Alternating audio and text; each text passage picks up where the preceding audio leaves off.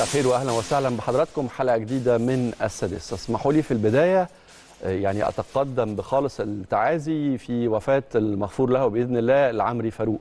آه، رجل الحقيقة آه، كان قيمة كبيرة جدا جدا جدا مش بس بالنسبة لأهله وذويه ومحبيه لكنه كان طاقة بتفيض بالحب والوفاء والإخلاص الشديد والانتماء الكبير جدا للنادي الأهلي. يمكن على مدار آه، سنوات تشرفت بيها في التواجد آه، في قناة النادي الأهلي لمست قد إيه إن الراجل ده الحقيقة وده يمكن اترجم بشكل كبير جدا في مرحلة تعبه آه، قبل وفاته. آه، حالة حب جارفة الحقيقة لاسم العمري فاروق وده ما كانش ممكن ابدا يحصل آه، لولا آه، رحلة عطاء وتفاني وإخلاص كبيرة جدا آه، لاسم النادي الأهلي ولكيان النادي الأهلي. آه، خالص التعازي مش بس لأسرته ومحبيه وأصدقائه لكن كمان لعائلة النادي الأهلي ولجماهير النادي الأهلي في فقدان واحد من آه، أهم رموز النادي الأهلي داخل السنوات الأخيرة. هبدأ حلقة النهارده طبعا باللي واجعني واللي واجع المصريين كلهم منتخب مصر. الفيلم ده ممكن تبقى بتشوفه كلاكات آه، عشر مرة. يعني ال- السيناريو اللي بيحصل اليومين دول بعد خروج ال أو مش هقول خروج بعد إخفاق المنتخب الوطني في التأهل ل آه، مشواره في بطولة أمم أفريقيا أنا شخصيا وكل جماهير الكرة في مصر آه، عشناه كتير قوي. عشناه في مناسبات كتيرة جدا. وفي كل ظرف من الظروف دي أو في كل مناسبة أو في كل فصل من القصة اللي يطول شرحها دي كانت بتتكرر نفس الأحداث وب- وبتاليها نفس النتائج. اللي, اللي, يمكن مش عايز أقول يضايق. مفيش حد يعني مفيش حد ما بيحبش منتخب مصر ومفيش حد نفسه آه، ما يشوفش منتخب مصر في أعلى قمم النجاح. والكلام اللي بقوله النهارده لحضراتكم كمشاهدين أنا لا يعنيني المسؤولين عن الأمور آه، في شيء ولا يعنيني الجهاز الفني في شيء ولا يعنيني لعيبة منتخب مصر في شيء. أنا بكلم جمهور الكرة في مصر.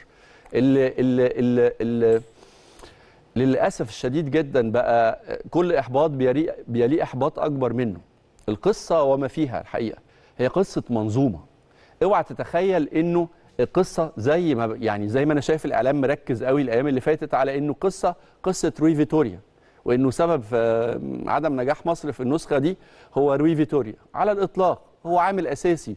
راجل ما عندوش الحقيقة بربع جنيه كورة. يعني أنا قلت لكم من الأول من أول ما تولى المشوار آه في بوادر مبشرة وفي نقاط إيجابية تخلينا نشجع التجربة. لكن على مدار الأربع ماتشات في البطولة وقلت من أول يوم إنه التحدي الحقيقي والتقييم الحقيقي لروي فيتوريا هيكون في بطولة أمم إفريقيا. قبل كده شيء وأمم إفريقيا شيء تاني خالص. وأعتقد إنه على مدار أربع ماتشات شفنا إنه المنتخب ظهر مفكك ظهر بلا بصمة ظهر فاقد للهوية فاقد للشخصية فاقد للروح. مع منتخبات للأسف كان المفروض يعني إنها بتبعد عننا سنين ضوئية. لك أن تتخيل عزيزي المشاهد أنا ممكن طبعا أطلع أقول لك هارد لك ونعوض في اللي جاي. ومصر طلعت طب ما هي السنغال طلعت وغانا طلعت والكاميرون طلعت والجزائر طلعت. كل ده طلع بدري بدري. شوف مين تعالى شوف مين تعالى اقرا النهارده وشوف مين واصل دور الثمانيه في بطولة افريقيا في نفس الوقت اللي الكبار دول اللي كانوا مرشحين قبل البطولة خرجوا. وفي منهم اللي صيف زي ما بنقول كده بدري بدري. بكلمك على فرق زي الكونغو بكلمك على فرق زي الرأس الأخضر بكلمك على فرق زي بوركينا فاسو بكلمك على فرق آه، زي أنجولا زي آه، موريتانيا. أنت متخيل شكل الخريطة؟ الناس دي آه، نجاحها ما كانش محض صدفة ما كانش آه، مولود في في حضن البطولة. الناس دي اشتغلت وخططت. وتعالى بقى نعيد السيناريو من الأول. هل القصة قصة روي فيتوريا؟ هل قصة قصة اللاعبين؟ مع إن في كتير منهم الحقيقة اخلص وادى أكتر من المطلوب منه في البطولة. لكن أنا شايف ان القصة أكبر من كده بكتير. قصة منظومة الكرة اللي في مصر اللي بتتغير أو اللي ما بتتغيرش مع تغير كل مدير فني. إحنا لعبنا كل الألعاب. جربنا برادلي وجربنا أجاري وجر- وجربنا هector كوبر وجربنا كارلوس كيروش وبنجرب في روي فيتوريا ومعاهم شوقي غريب ومع مع حفظ الألقاب طبعا ومعاهم حسام البدري ومعاهم إيهاب جلال وغيرهم وغيرهم وغيرهم. ولم تنجح الكرة المصرية على مدار 14 سنة في تحقيق أي شيء. اللهم إلا ذكرى أعتقد كلنا بنحاول ننساها هي الوصول لكأس العالم في 2018 ما عدا ذلك النتيجة صفر. ليه؟ لازم السؤال يكون ليه؟ وليه مع تغير الأسماء القائمة على إدارة كرة القدم في مصر ما, بيت... ما بتتغيرش الأحوال؟ ليه مع تغير لجان كانت أو مجالس إدارة كانت ما بنشوفش نموذج عمل جديد؟ ليه ما بنشوفش استنساخ مثلا مثلا لتجربة المغرب؟ استنساخ لتجربه أنا مش عارف أقول ينفع أقول استنساخ لتجربة بوركينا فاسو مثلا؟ استنساخ لتجربة كاف فيردي؟ مش مش يبقى عيب لو قلت كده؟ يعني مش يبقى عيب لما أقول لحضراتكم كده. تعال نبص على المنظومة كلها ونتخيل وطلع الأهلي شوية بره المعادلة. لأنه بدون الأهلي أو لو الأهلي كان فقد توازنه في السنوات الأخيرة أنا انضميت لقناة النادي الأهلي اتشرفت بالعمل في قناة النادي الأهلي من قبل بطولة أفريقيا النجمه التاسعة من قبل بطولة الأهلي والزمالك نهائي القرن. وكانت البطولة غايبة بقى لها فترة طويلة سبع سنين تقريبا. في خلال الفترة اللي أنا كنت موجود فيها في النادي الأهلي شفت نجاحات على أعلى مستوى وأنا حاشا لله إن أنا أكون بقارن بين الأهلي وبين المنتخب بس أنا بدي نموذج يوضح لحضرتك الفارق لأنه نفس الظروف تقريبا هي هي مفيش اختلاف بالعكس يمكن لما تشوف ميزانيات المدربين اللي تولوا مسؤولية اتحاد منتخب مصر الأول في السنوات الأخيرة وتقارنها بمدربين اللي تولوا مسؤولية النادي الاهلي شتان الفارق. تركيز النادي الأهلي ونجاحات النادي الأهلي على المستوى المحلي أكيد ما فيهاش نقاش. طبعا على المستوى القاري ما حدش يقدر يتكلم الأهلي هو زعيم أفريقيا. طبعا على المستوى الدولي حتى على المستوى الدولي في مواجهة الكبار تقدر تقول إنه الأهلي حاطط أفريقيا في المرتبة رقم ثلاثة مع الفوارق الكبيرة جدا في الإمكانيات ورا أوروبا ورا أمريكا الجنوبية متقدما على أندية بإمكانيات رهيبة سواء في آسيا أو في أمريكا الشمالية زي المكسيك وزي كندا زي الولايات المتحدة الأمريكية والدول الكونكاكاف وآسيا. وأنتم عارفين آسيا اليابان وكوريا والصين وإيران وخليج عربي عنده من الإمكانيات المالية كبيرة جدا ونجح الأهلي في ده. طب سؤال هو ليه إنجازات منتخب 2006 و8 و10 مش قادرين نكررها مرة تانية؟ على الأقل لبطولة واحدة. إذا كان الأهلي في أفضل أحواله يعني إذا كان سكواد الأهلي في أفضل أحواله ومسيطر تقريبا على القارة على القارة الإفريقية بالطول وبالعرض. ولما بيشارك في مع مستويات أعلى منه بكتير في بطولات كأس العالم للأندية بيقدم مردود في منتهى القوة وبيحقق نجاحات ما حدش كان يحلم بيها. ولما نتكلم على المحترفين وتقارنهم حتى بمحترفين جيل 2010 هتلاقي في فرق كبير جدا على مستوى الأندية اللي بيلعبوا فيها وعلى مستوى النجاحات اللي بيحققوها مع أنديتهم. يعني الجيل ده مش جيل وحش زي ما أنتم بتحاولوا توصلوا لنا طب حد يسأل نفسه سؤال لو نفس الجيل ده كان معاه بيب جوارديولا بلاش مش هقول جوارديولا ولا أنشيلوتي. مدرب من المدربين الكويسين اللي طالعين في أوروبا تشابي ألونسو مثلا مكسر الدنيا في الدوري الألماني ومرشح لنروح ريال مدريد. هل كان يحصل فارق أنا بقول لحضرتك لا. هل القصة قصة مدرب بس ولا قصة قصة منظومة؟ منظومة بقى فيها خلل كبير جدا على كل المستويات. مسابقات محلية ودوري إذا كانت الدوري يعني هي البطولة الأقوى والأهم بيلعب بيلعب بدون أي نوع من أنواع الضغوط. مدرجات خاوية أندية ملهاش شعبية ولا جماهيرية ولا حد بيتفرج عليها ولا حد عايز يتفرج عليها. لعيبة بتاخد مقابل مادي كبير جدا والمردود والمحصلة في النهاية للأسف صفر. لك أن تتخيل إنه في سنة من السنوات يعني لما كان النادي الأهلي بيلعب في الدوري كنت أنا ساعتها مع الجمهور يعني. الكلام ده من سنين طويلة شوية. وكان دوري فيه أندية كتير جماهيرية. كان في فرق مثلا زي بلدية المحلة السويس جمهورية شبين غزل المحلة طبعا لما كان غزل المحلة المصري الإسماعيلي الاتحاد.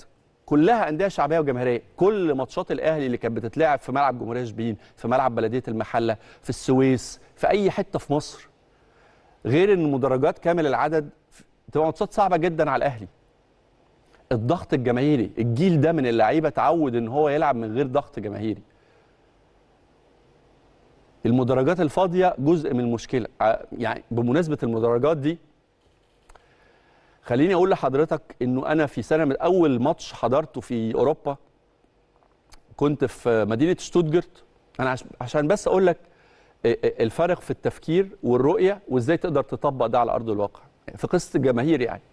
كنت في مدينة شتوتجارت في ألمانيا وكنت مدينة شتوتجارت دي مشهورة جدا بأنها آه، يعني آه، آه، الوطن الأم الاثنين من أكبر براندات العربيات في العالم يعني. واحدة منهم ماركة شهيرة جدا في مصر. فليه عاملين زي متاحف هناك. وأنا في زيارة لواحد من المتاحف دي فبصيت لقيت من المتحف من فوق في ملعب كرة تحت المتحف على طول. فسألت ده إيه؟ قالوا لي ده ملعب شتوتجارت. وبكرة أو بعد بكرة في مباراة مهمة جدا بين شتوتجارت وبين بايرن ميونخ. طبعا بحب بايرن ميونخ. فقررت إن أنا أحجز آه، تذكرة واحضر المباراه دي. وأنا داخل أنا أنا بشجع بايرن ميونخ وداخل ملعب شتوتجارت وأنا داخل المباراة لقيت انه الجمهور الألماني يعني آه، مش في يعني جزء كبير جدا منهم بيروحوا الماتشات دي مش بيبقوا مش في وعيهم قوي يعني. يعني بيبقوا مش مش في كامل وعيهم يعني. فكنت متخوف جدا جدا الحقيقة. دخلت المباراة مباراة كانت قوية جدا وعنيفة جدا. ما حدش في داخل الملعب يقدر أو قدر إنه يخرج عن النص. مفيش حد ممكن آه، يخترق القانون أو إنه يعمل مخالفة أو إنه يعتدي على حد أو إنه يبوظ المباراة. ده النظام. والجمهور اللي بيحضر الماتشات مش كله جمهور كورة مش كله ألتراس يعني بمعنى الألتراس المفهوم عندنا هنا أو متعرف عليه في مصر. لا ناس طبيعية جدا. مين قادر يرجع الجمهور في مصر مرة تانية؟ مين ممكن يراهن على انتظام المسابقة. مين ممكن يحل المشكلة أو الخلل اللي حاصل في في غياب الأندية الجماهيرية اللي تعتبر مدانه من وجهة نظري. أندية زي المنصورة وأندية زي الأولمبي وأندية زي السويس وأندية زي الشرقية وأندية آه، زي القناة وزي المنيا. آه، إداراتهم المتعاقبة جزء من المشكلة. إزاي يبقى معاك نادي جماهيري وما تقدرش تنجح بيه في ظل تواجد أندية بقى النهارده كلها. إحنا الدوري بقى أشبه بدوري شركات. مع كامل احترام ليهم طبعا عندهم إمكانيات مادية وبيشتروا أندية وبيشتروا لعيبة. فاركو آه، فيوتشر آه، بيراميدز آه، زد إم بي. كلهم تقريبا أندية شركات. مفيش أي ظهير جماهيري ومفيش جمهور في مصر مهتم بإن هو يتابع أو يعني خلينا نتكلم بمنتهى الصراحة. إزاي تقدر تدمج التجارب الناجحة دي اقتصاديا مع التجارب آه، أو مع أندية شعبية وجماهيرية تقدر تديها الإمكانيات اللي تخليها موجودة على الخريطة وبتنافس ترجع الجمهور مرة تانية. بدون وجود جمهور في كورة في مصر مفيش كورة في مصر. بدون ما اللعيبة تتعود إنها هو جزء من نجاح الأهلي إنه تعود دايما يلعب تحت الضغط. مدرسة الأهلي بتعود لاعب لاعيبتها جزء من نجاح معادلة نجاح الأهلي هو فكرة اللعب تحت ضغط. فإنك أنت تحول فيتوريا لكبش فدا وتروح تجيب اسم بقى تاني مصري كان أجنبي كان وتقول إحنا كده عدلنا الميلة وإحنا رايحين نفس على الكان في في المغرب في 25 ورايحين كأس العالم عشان نعمل حاجة زي ما الأشقاء عملوا قبل كده يبقى أنت بتبيع الوهم لجمهور الكورة في مصر. اعتقد أعتقد إنه المنظومة كلها في حاجة إلى إعادة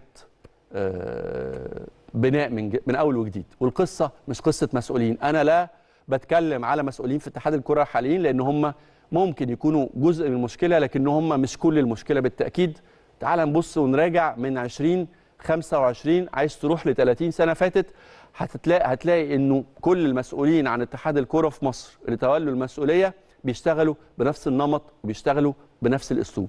في طفرة حصلت في نقلة نوعية حصلت في الكورة في مصر. تقدر تقول إنه التجربة بتاعتنا من سنة 90 أول نجاح على المستوى العالمي الوصول لكأس العالم في إيطاليا لغاية 2024 اختلفت طريقة الإدارة أو منظومة التخطيط للمستقبل. أنا أشك إنه الإجابة تكون نعم. أنا أشك إنه الإجابة تكون نعم. لما يكون مجموعة من الأسماء هي بس اللي بتسيطر على كل ما هو علاقة بكرة القدم سواء كان إعلام أو كان social media أو كان انتخابات أو كان تربيطات أو كان آه، مناصب إدارية يبقى ثق تماما إنه النت- النتيجة في النهاية لن تختلف على الإطلاق. عندنا النهارده نظرة سريعة كده على تاريخ منتخب مصر من بعد 2010 آخر اللحظات المضيئة في تاريخ الكرة المصرية على مستوى المنتخب.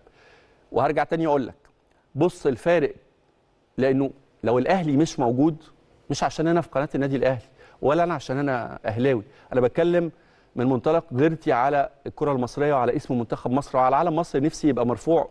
إحنا في نفس الوقت في نفس الوقت اللي قدمنا أسوأ عروض أربع ماتشات كلهم توتر وضغط عصبي وتنشنة و... ما تتفرجش على الكوره عشان كده. التأهل بشق على فكرة انت لو كنت قدمت 50% من مستواك اللي كنت بتلعب فيه في الكان الأخيرة في الكاميرون النهارده كان بقى طريقك ممهد لل- للنهائي. تلعب الفايز من آه، غينيا بيساو غينيا اللي هي غينيا كوناكري وبعدها كوت ديفوار اللي طلعت السنغال.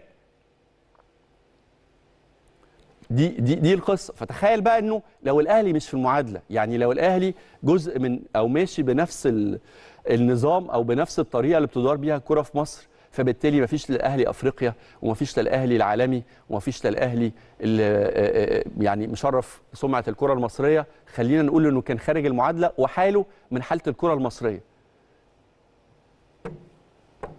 كان هيبقى إيه النظام؟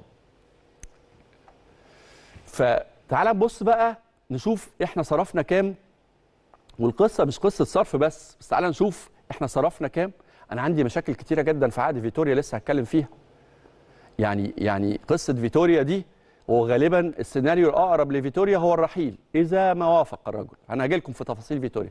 بس تعالوا نشوف حجم الإنفاق على المدربين بتوع منتخب مصر من بعد مرحلة 2010 اللي تولوا المسؤولية لغاية يومنا هذا. وتعالوا نشوف كل مدرب أو كل اسم حقق إيه. بعد كابتن حسن شحاتة الأمريكي طبعا بوب برادلي تولى المسؤولية من 11 ل 13 لعب 32 مباراة منهم 10 مباريات رسمية و22 مباراة وديه حقق 18 فوز 6 تعادل 8 هزيمة. سجل 61 وعليه 46 كان بيتقاضى في الوقت ده طبعا ده كان رقم كبير جدا. راتب شهري 45 ألف دولار. والنهارده طبعا حتى النهارده رقم يعني يعتبر كبير جدا وده طبعا الأرقام دي طبقا للبيانات اللي أتيحت لينا لفريق عمل السادسة يعني. ومشكورين الحقيقة قاموا بمجهود كبير جدا عشان يعملوا أو يقدموا لحضراتكم الأرقام دي آه، في كل مراحل المدربين المختلفين تولوا المس- المسؤولية. النفقات بالتقريب تقريبا في الفترة دي من 11 ل 13 بتتكلم على 2 مليون و160 ألف دولار وكانت النتيجة طبعا الإخفاق في التأهل للمونديال. بعد بوب برادلي من 2013 جه كابتن حس... آه، كابتن شوقي غريب لعب بس تسع ماتشات منهم ستة رسمي وثلاثة ودي. فاكر أنا حضرت ماتش مصر والسنغال في استاد القاهرة اللي خسرنا فيه في في القاهرة هنا؟ حقق فوز آه، ثلاث مرات تعادل وحيد هزيمة خمس ماتشات وسجل 11 واستقبل 11 نيجي بعد كده لهيكتور كوبر ودي يعني يمكن رغم طبعا إنه منتخب مصر كان في حالة هزيلة جدا و و و وفي مرحلة تعافي خليني أقول ما بعد ال- الظروف الصعبة اللي مرينا بيها لكن نسبيا تقدر تقول إن هيكتور كوبر نجح مع المنتخب. آه ما حققش حاجة على مستوى الألقاب صفر من الألقاب والبطولات لكن في النهاية وصلك لأول مرة بعد ما كنتش بتتأهل حتى. إحنا ما كناش قادرين نتأهل لبطولة أمم أفريقيا وصلك إنك أنت تلعب نهائي قدام الكاميرون في 2017 وطبعا ال- ال- ال- الفرحة الأكبر كانت في الوقت ده رغم ان إحنا رحنا عملنا حاجة وحشة قوي يعني في روسيا كان التاهل لكأس العالم. ماتشات رسمية آه، لعب 38 مباراة. منهم 23 مباراة رسمية 15 ودية 19 فوز 7 تعادل 12 خسارة. استقبل أو سجل الأول 49 واستقبل 28 وكان بياخد تقاضى راتب شهري شهري 70000 دولار. النفقات تقريبا وزاد أنا فاكر المبلغ ده زاد بعد ما تأهل لكأس العالم وصل ل 110000 دولار يعني لو الرقم اللي عندي دقيق يعني. كانت النفقات بالتقريب بتتكلم في 2.5 مليون دولار وكانت طبعا وصيف وصافة أفريقيا بعد ما خسرنا من الكاميرون والتاهل لمونديال روسيا 2018 رحل هيكتور كوبر وجه بعديه المكسيكي آه، آه، آه، المكسيكي خافير أجاري 2018 ودي طبعا كانت ال- التحضير لاستضافة مصر لبطولة أمم إفريقيا. أجاري لعب مع المنتخب 12 مباراة منهم تسعة رسمي وثلاثه ودي. فاز في تسعة وتعادل في واحدة وخسر اثنين منهم طبعا الخسارة التي لا تنسى. وبرضه كنت في الاستاد مش عارف أنا وشي وحش على المنتخب لما بحضر ماتشات في الاستاد رحت وخدت الولاد وكرنفال بقى وقلنا أجواء 2006 هترجع تاني ويلا نروح مصر وجنوب أفريقيا. دور ال 16 الكان استاد القاهرة كرنفال استاد ولا أروع مليان جمهور كافة أطياف الشعب. وهي دي الصورة اللي كنت بكلمك فيها. استاد القاهرة أو استادات أو ملاعب الكورة في مصر مش حكر بس على مشجعين الكورة. السادات والمدرجات دي ملك للأسرة المصرية. كرنفال يروح فيه الولاد الصغيرين والناس الكبيرة رجالة وستات وشباب يشجعوا. يبقى يوم للمتعة ويوم للفسحة زي ما بتحصل في كل أنواع الرياضة في العالم كله. نرجع بعد هيكتور كوبر بعد خافير اجاري 2018 خسر مباراتين. زي ما قلت لكم طبعا كانت المباراة الأخيرة ليه جنوب أفريقيا في استاد القاهرة وخرجنا من دور ال 16 في الكان سجل 25 استقبل سبعة. كان بيتقاضى راتب شهري 120 ألف دولار. النفقات بالتقريب أو إجمالي النفقات في الفترة بتاعت 2018 بس مليون ونص مليون دولار والحصيلة الخروج من دور ال 16 في كأس الأمم الأفريقية اللي كانت بتتلعب فين؟ في مصر. عشان لو كنت ناسي أفكرك. طيب مشي خفير أجاري وجه حسام البدري. لعب مع المنتخب بس تسع ماتشات منهم ثمان مباريات رسمية مباراة واحدة ودية. حقق إيه كابتن حسام؟ حقق الفوز في خمسة وتعادل في أربعة وسجله من الخسارة بلا هزيمة سجل 13 واستقبل أربعة وتعرض برضو لمجموعة من الانتقادات الكبيرة جدا وجي بعديه كارلوس كيروش. وكارلوس كيروش ده لينا واقفة معاه الحقيقة. كارلوس كيروش لعب مع المنتخب 20 مباراة آه، منهم 19 رسمي مباراة واحدة ودية فاز في 11 تعادل في 3 في 6 وخسر ثلاث مباريات. آه، سجل 25 هدف المنتخب معاه واستقبل تسع أهداف وكان بيتقاضى راتب شهري 100 ألف دولار والنفقات بالتقريب 700 ألف دولار. والحصيلة وصيف كأس أمم أفريقيا طبعا في مواجهة السنغال وعدم القدرة على التأهل أو الترشح لكأس العالم بعد الخسارة أيضا من السنغال ثم مرحلة مش هقدر أقول مر- مرحلة الحقيقة رجل الحقيقة تجربته ما اكتملتش ما ما خدش الفرصة كاملة. يعني إيهاب جلال مسك المنتخب ثلاث ماتشات لعب منهم اثنين رسمي وواحدة آه، ودي. خسر طبعا من إثيوبيا في آه، خسارة كانت ليها ردود أفعال كبيرة جدا وخسر أعتقد من كوريا بنتيجة أربعة وكانت آه، كان قرار الاستبعاد بقى إقالة استقالة مع يعني ما عنديش التفاصيل.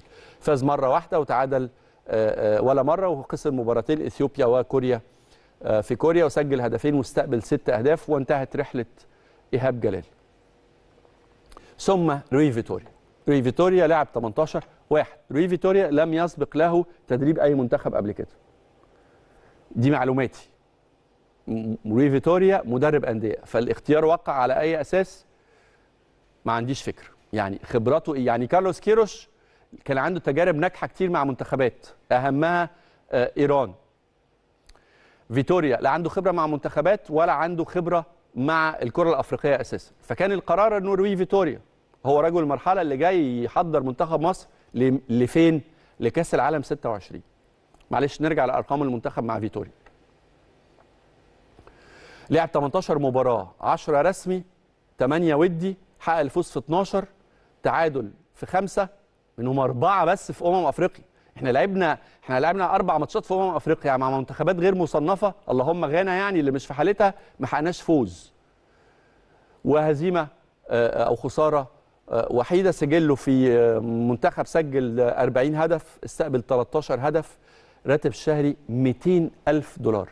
ونفقات بالتقريب 3.6 من عشرة مليون دولار والحصيلة الخروج من دور 16 في كأس أمم أفريقيا. نتيجة على فكرة بالمناسبة يعني أنا لو بقود المنتخب أنا مش هقول لك مدرب من مدربين الدوري الممتاز آه، المصريين سيبك من الأجانب. يعني أنا مش هروح ل...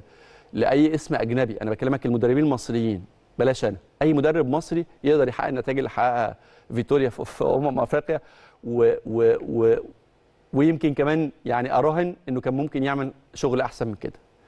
طبعا الأربع ماتشات إدارة ولا أسوأ طريقة ولا أسوأ اختيارات في البدايات ولا أسوأ تبديلات ولا أسوأ اختيارات للقايمة من الأول خالص ولا أسوأ. بصمات داخل الملعب ولا أسوأ. يعني فيتوريا الحقيقة إذا كنت بقيمه في البطولة دي أو يعني هدي تقييم لم- لمستوى المنتخب مع فيتوريا في البطولة دي فهو واحد أو اتنين وأبقى أنا كده كرم الراجل ده كتير قوي.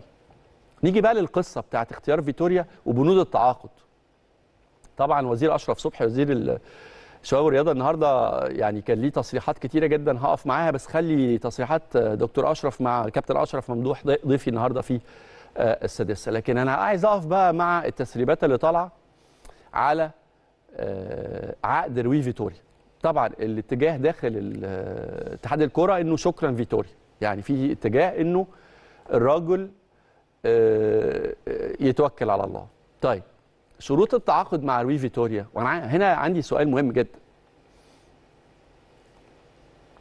نمرة واحد مين اللي ليه الصلاحيه يعني وإحنا بنتفاوض مع روي فيتوريا مين اللي عنده الصلاحية؟ إذا كان الراجل ليه شروط معينة أو إنه إدارة اتحاد الكرة في مصر ليها بنود معينة عايزة تدرجها داخل شروط بنود التعاقد. مين اللي ليه الصلاحية في إنه يوافق أو يرفض؟ العقد ده النسخة اللي بتطلع منه قبل ما يتم التوقيع النهائي عليها من الطرفين من المدرب أو المدير الفني ومن اتحاد الكرة. مين اللي ليه الصلاحيه في انه يوافق على بنود هذا التعاقد؟ هل في شخص منفردا له الاحقيه في آه، الموافقة أو الرفض ولا هو قرار مجلس إدارة؟ دي نقطة إحنا محتاجين نعرفها. لأن بنود التعاقد مع روي فيتوريا الحقيقة فيها آه، خلل كبير جدا جدا وفيها من وجهة نظري أنا وفي تقديري دي وجهة نظر شخصية. إهدار شديد وكبير جدا للمال العام. يعني لما أجي أقول إنه أنا بعد طبعا أنت بتتكلم على أغلى مدير فني في بطولة أفريقيا. مفيش مدير فني على مستوى القارة أندية منتخبات بياخد الرقم اللي بياخده فيتوريا. واعتقد انه هيرفي رينار أنا بشوف انه هيرفي رينار هو افضل مدرب اشتغل في افريقيا في العشر سنين الاخيره أندية ومنتخبات. واعتقد انه هيرفي رينار نفسه ما وصلش للرقم ده. وتعالى نشوف المدربين اللي نجحوا مع فرق لم تكن مصنفة أو مرشحة في البطولة وبالمناسبة أغلبهم محليين. يعني أليو سيسي مع السنغال آه خرج من البطولة لكن واخد اللقب اللي قبله ووصل كأس عالم. الركراكي مع المغرب لسه بينافس على البطولة. أعتقد هو مرشح أول دلوقتي وتيجي من بعده نيجيريا ونجح في كأس العالم مش بس في الوصول ده وصل مربع ذهبي وخد رابع عالم أعظم إنجاز لمنتخب في أفريقيا. وغيرهم كتير من المديرين الفنيين المحليين كاب فيردي مدير فني محلي آه، آه، كونغو الديمقراطية كوت ديفوار نفسها في البطولة رغم الإخفاقات في الدور التمهيدي بكل قال لك كوت ديفوار استنت للدقائق الأخيرة عشان تضمن التأهل وتأهلت كأحسن توالد وأقالوا المدير الفني أثناء البطولة اللي هم بيستضيفوها وخلوا المساعد يكمل مشواره وقدر امبارح آه، يكسب السنغال ويتأهل لدور الثمانيه فمفيش حد مفيش حد بيتقاضى ده بالنسبة للرقم بس ده بدءا ذي بدء. طب تيجي نشوف بقى شروط إنهاء التعاقد إزاي؟ يعني لو إحنا قررنا إن إحنا ننهي عقد أو التعاقد مع روي فيتوريا ده يتم إزاي؟ اولا في شروط التعاقد بيقول لك إيه؟ في خلال 15 يوم بعد انتهاء بطولة أفريقيا يحق للاتحاد الكرة المصري فسخ التعاقد مع فيتوريا بشرط خد بالك من الشرط بقى إنه يديله ثلاث شهور من قيمة عقده. يعني حضرتك تدفع له كام؟ يعني إحنا لو قررنا النهارده مع فيتوريا نقول له شكرا مع السلامة. إحنا مش هنكمل القصة بتاعتنا. منتخب اتحاد الكرة يدفع لفيتوريا عدا ونقدا 600 ألف دولار. هم صحيح بيتفاوضوا أو كلفوا. كابتن حازم إمام يتكلم مع الراجل معلش إحنا يعني نخلص الموضوع ودي وبدل ما تاخد 600 خد 300 300 ألف دولار. ونتمنى إن الراجل يوافق يعني. طيب بعد ال 15 يوم طب لو عدى ال 15 يوم إيه اللي يحصل؟ وقرر اتحاد الكرة إنه يفسخ التعاقد. روي فيتوريا ياخد ما تبقى ليه في مدة عقده بالكامل.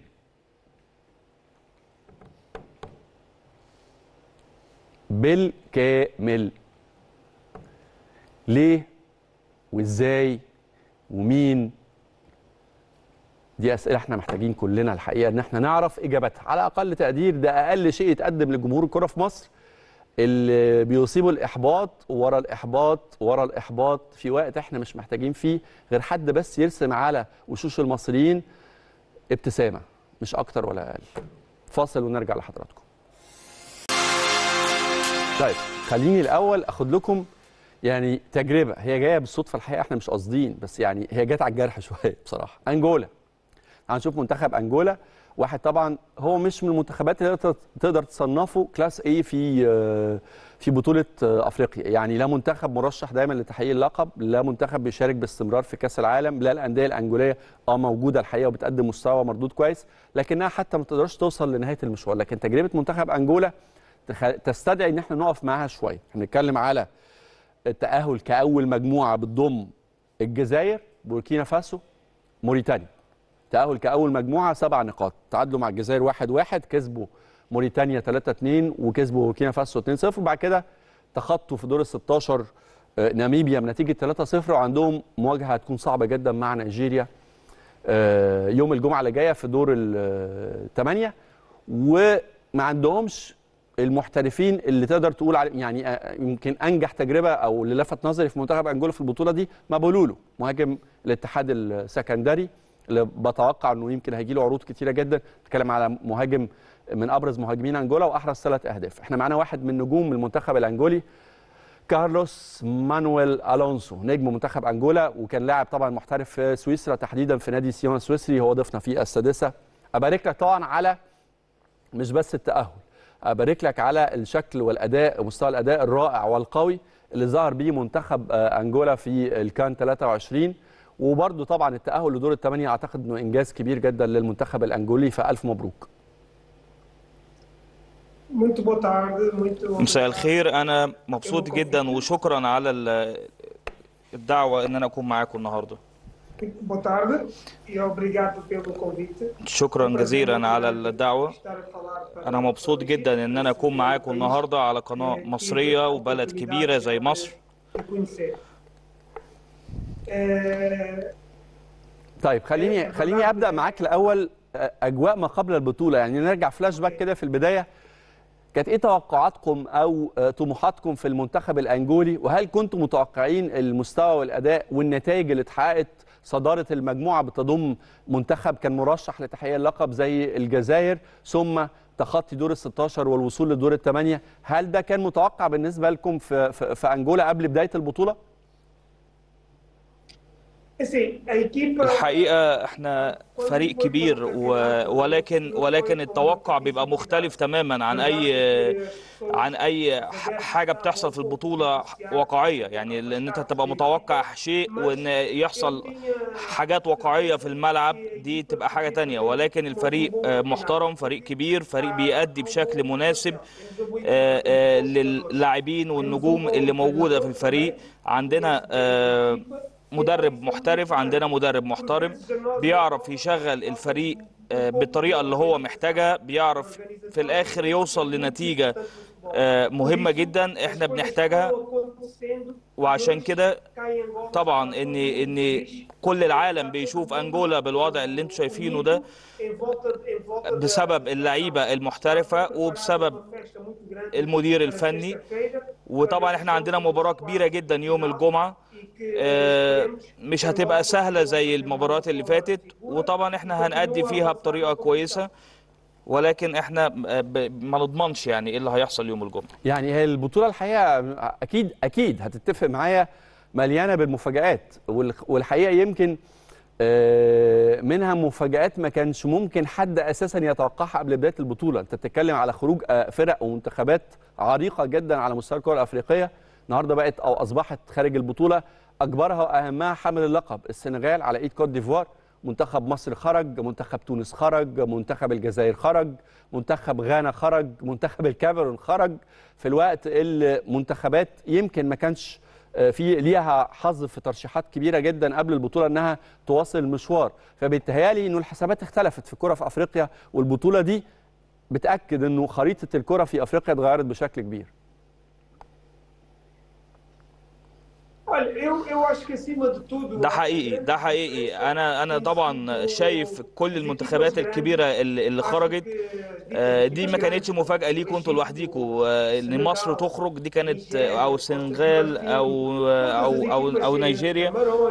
الموضوع ده الناس كلها مستغربة منه في العالم كله لأن إحنا كلنا عارفين الفرق الكبيرة أو فرقة أفريقيا الكبيرة هي مصر. آه، مصر دايما كانت بتفاجئ الجميع في كل المنتخبات بتفاجئ المنتخبات كلها. ولكن ال- السنة دي النسخة بتاعت السنة دي نسخة مختلفة تماما. يعني يعني فيها لعيبة آه، محترفة أكتر في دول آه، زي مصر زي دول أوروبية. آه، اللعيبة عندها طموح أكتر. اللعيبه اللعيبة بتلعب بشكل آه، آه، كأن هو ده آخر ماتش في كل ماتش بيخشوه فطبعا بيأدوا بطريقة مختلفة. ولكن ولكن طبعا هو الحظ في الأول وفي الآخر بيخالف المنتخبات الكبيرة. وللأسف الحظ ما كانش مع المنتخبات الكبيرة النسخة دي.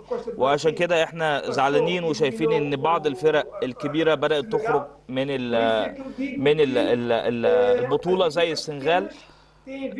وللأسف إن ال- الفرق الصغيرة هي اللي بتعمل شغل كويس يعني زي أنجولا. موريتانيا آه، فرق كده يعني ما حدش كان يتخيل إن هي هتكمل في البطولة ولكن الناس دي اشتغلت على نفسها كويس جدا وبالتالي إحنا مكملين في البطولة هو الحقيقة ما فيش للأسف يعني الحقيقة آه، في النهاية آه، الكرة لل- للي بيجيد واللي بيجتهد وأعتقد إنه النتائج كلها كانت منصفة يعني ما فيش حد اتغدر بيه أو ما فيش حد خرج. كان يستحق إنه يستمر أو إنه استمر في المنافسة وكان يستحق إنه يخ- يخرج بدري بدري. الحقيقة كل المنتخبات اللي وصلت المشوار قدمت عروض في منتهى القوة وما حطتش وبين قوسين كده وأنا عايز أتكلم معاك في الجزئية دي ما حطتش أي اعتبار لفكرة الأسماء أو التاريخ أو المحترفين أو الأندية. الكل اشتغل على إمكانياته واللي نجح في إنه يقدم أفضل ما عنده هو اللي قدر يواصل المشوار. Não, é assim, Angola não, não, nunca teve بالطبع بالطبع. آه، انجولا انجولا هي فريق كبير طبعا وانجولا بتحترم جميع الفرق إذا كانت كبيرة أو إذا كانت فرق صغيرة زي ما أنا بقول. ولكن الفرق الكبيره زي مصر زي سنغال زي نيجيريا آه، الفرق دي إحنا دايما بنحترمها سواء إحنا بنلعب في البطوله سواء إحنا ما كناش بنلعب في البطوله إحنا حقيقي بنحترم الفرق دي وإحنا بنقول عليهم فرق كبيره صحيح. طبعا بكامل احترامي ان انت بتقول ان الفرق مفيش حاجة اسمها كبيره وصغيره في فرق عايزه تكمل ولكن إحنا دايما لما بنيجي نلعب أو لما كنا بنلعب حتى وأنا في الملعب كان دايما مصر ليها هيبة وليها خوف خاص لجميع الفرق muito مصر مصر دايما بنحترمها. الفرقة فيها لعيبة محترفة كتير بيلعبوا كورة محترمة. فرقة فيها لعيبة محترفة زي محمد صلاح آه، آه، فرقة زي السنغال فيها ساديو ماني ولكن طبعا الحظ خانهم في البطولة النسخة 2024 آه، إحنا بنأمل دايما إن إحنا نأدي بشكل كويس سواء في النسخة دي أو سواء أي نسخة أخرى. ولكن الحظ معانا المرة دي كويس جدا. وفي الحالي أنجولا بتحاول تظهر للعالم كله إن زي ما أنت قلت كده بالظبط إن مفيش كبير وفي صغير في حد صحيح. عايز يكمل. هاجي لبقية مشوار البطولة وهاجي لماتش نيجيريا بس أنا عايز أسألك برضو واحدة من الملاحظات اللي اللي كانت واضحة جدا في البطولة دي. هي فكرة استعانه عدد كبير من المنتخبات الأفريقية بلاعبين آه، أفارقة آه، من مواليد أوروبا. أعتقد إن ده برضو واحد من العناصر اللي جدت أو استجدت على الكرة الأفريقية وساهمت في آه، تطوير مستويات عدد كبير عدد مش قليل يعني من المنتخبات الأفريقية زي مثلا على سبيل المثال كاب فيردي. وعايز أعرف أنتوا في انجو في أنجولا في المنتخب الأنجولي هل برضو ضميتم أو بيضم عناصر من مواليد أوروبا؟ أصول أنجولية ولكنهم اتولدوا وبدأوا مشوارهم في الكورة في أوروبا يعني. Sim, essa, essa para mim. تمام بالفعل. طبعا هو ده الفرق الكبير اللي حاصل. آه، ال- ال- الكرة الأوروبية مختلفة تماما عن الكرة الأفريقية. آه، طبعا العالم كله عارف إن أوروبا عندها أحسن اللعيبة وأحسن الأنديات. وبالفعل أي لعيب بيلعب هناك بيرجع بطريقة وفكر مختلف تماما. بيرجع بطريقة لعب أوروبية. وطبعا ده بي بي بي بيبان في الملعب وسط اللعيبة ووسط زمايله. آه، طبعا اللعيبة الأوروبيين دايما أو اللي بيلعب في أوروبا بيرجع بطريقة آه، آه، هجومية أكتر بيرجع بطريقة أسرع عايز عايز يحقق حاجة. مش بس عشان خاطر البطولة اللي هو بيلعب فيها مع فريقه الأفريقي ولكن عشان لما يرجع فريقه تاني الأوروبي يعرف يخلي المدير الفني مقتنع بيه وما ما يكونش إن هو أثر على مجهود اللي عمله في في أوروبا. ودلوقتي أنجولا عندها أربع لعيبة بيلعبوا في أوروبا بيلعبوا في, في أربع فرق أو أربع أنديات أوروبية. طب أنا أنا مش بتكلم على محترفين لأن كل منتخبات إفريقيا طول عمرها بتعتمد على المحترفين لكن أنا بتكلم على اللعيبة اللي من أصول أنجولية واتولدوا وتأسسوا وبدأوا مشوارهم يعني ما ابتدوش في أندية أنجولية ما ابتدوش المشوار في الأندية الأنجولية ابتدوا في أوروبا أو في أندية أوروبية ومع اكتمال التجربة استدعاهم المنتخب عشان يلعبوا باسم أنجولا. طبعا طبعا عندنا عندنا لعيبة كتير. إن هم أصول أنجولية. وزي كاب فيردي طبعا عندنا. طبعا زي كاب فيردي في ناس في لعيبة كتير اللي اتولدوا بره في في أوروبا ولكن هم ليهم أصول من كاب فيردي انجولا نفس الكلام عندنا طبعا لعيبة كتير من غير ما أسمي حد فيهم برضه هم ليهم أصول انجوليه ولكن طبعا هم اتولدوا في أوروبا وحاليا هم بيلعبوا في فرق أوروبية وبيرجعوا للمنتخب الانجولي وبيأدوا بشكل كويس جدا. طيب عايز أكلمك كمان على مابولولو بما إنه يعني. بيلعب في الدوري المصري كريموس. و... ومتألق الحقيقة هو هداف الدوري المصري ومتألق في بطولة أفريقيا مع انجولا توقعاتك ليه؟ آه، رأيك في مستواه؟ آه، شايف إزاي ممكن يكون مشواره بعد البطولة الأفريقية؟ هل تتوقع إنه أنا عارف إن في عروض كتير جت لنادي الاتحاد فيما يتعلق بمابولولو واحد من الهدافين المميزين اللي إحنا شفناهم في السنوات الأخيرة. لكن انت شايف آه، مردوده مع المنتخب إيه؟ وشايف الأفضل لمستقبل مابولولو إيه بعد البطولة؟ jogador, هو لعيب مكار جدا بطريقة كوميدية بيلعب بشكل آه، آه، محترف.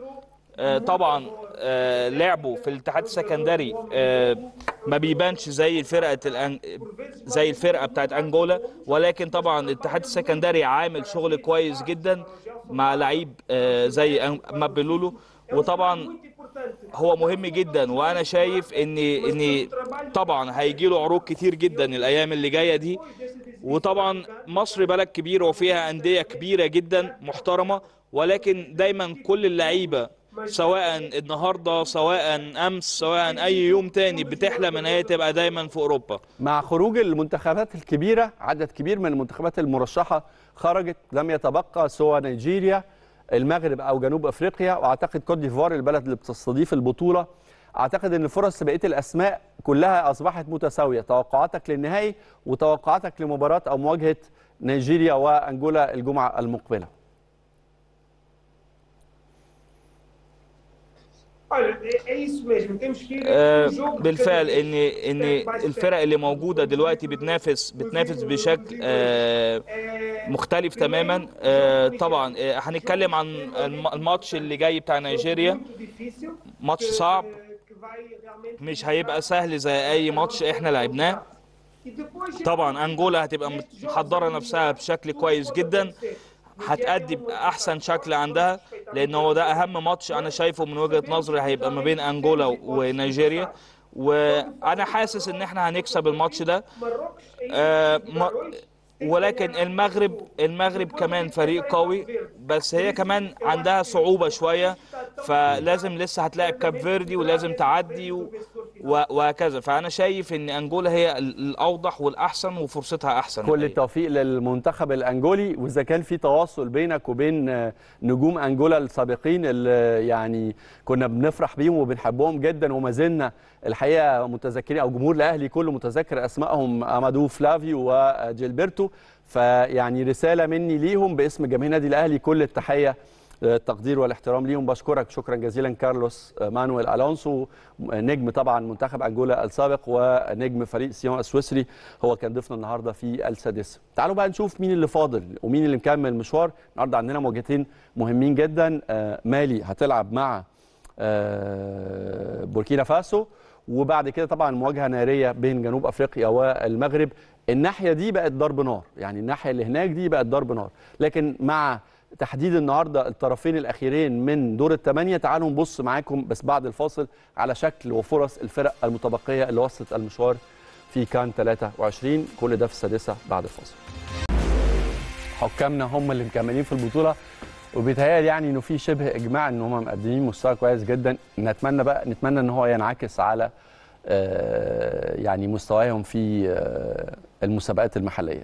خليني أبدأ كلامي بإنه في فرق كبير جدا بين ال ال الإدارة اللي عندها رؤية وحاطة قدام عينيها أهداف آه، يعني قصيرة المدى وأهداف بعيدة المدى وعارفة تخطط وتحدد آه، آه، آه، آليات معينة عشان توصل للأهداف دي. وما بين فكر ممكن يكون قايم على الاجتهاد وهحط بين قوسين كده كلمة العشوائية. خد بالك يعني عشان أقول الكلام ده بيبقى مفهوم أو مشروح بلغة بسيطة جدا الترمومتر اللي موجود عند الجمهور ما بيكذبش. يعني إيه؟ يعني حضرتك مثلا لما بتبقى داخل على ماتش لمنتخب مصر لكرة اليد مع أي منتخب في العالم بما فيهم أبطال العالم. بتبقى داخل وعندك إحساس قبل الماتش ما يبدأ إنه إحنا نقدر. أنت واثق إنه اللعيبة دي مستواها يأهلها إنها تنافس الكبار. والدليل نجاح مصر على مستوى المنتخبات الكبيرة ومنتخبات صغيرة. أنت عندك منتخب يد بطل عالم. عندك منتخب يد مقرب إنه يكسر احتكار تونس أو صدارة تونس للارقام الإفريقية. ورابع عالم. وانت بتواجه اي منتخب انت داخل كده وقاعد والثقة ملياك انه إحنا نقدر نكسب الماتش ده ايا كان مين المنافس. وبينك انت تخش مباراة تانية لمنتخب تاني وانت أنا آسف في اللفظ يعني ركبك بتخبط في بعض أو بتقول بينك وبين نفسك ربنا يستر هنعمل إيه النهارده؟ ده نتاج الفارق بين منظومة بتدير بشكل محترف وبين منظومة شغالة شوية بالفهلوة. اللي حصل مش جديد.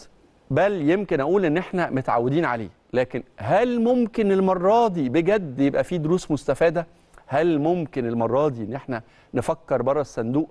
هل ممكن المرة دي إن إحنا ناخد طريق مختلف عن كل الطرق اللي مشتها لنا أو مشينا فيها مع الإدارات المختلفة لكرة القدم المصرية؟ ده سؤال ما اعتقدش ان أنا املك الاجابه عليه وما اعتقدش كمان انه ضيفي الكابتن الكبير النجم الكبير اشرف ممدوح يملك الاجابه عليه. لكن تعالوا نقيم كده ونشوف إيه اللي ممكن تكون العبر أو الدروس اللي نقدر نبني عليها مستقبل افضل لكره القدم المصريه فيما هو قادم من احداث مساء الخير يا اشرف وهارد لك.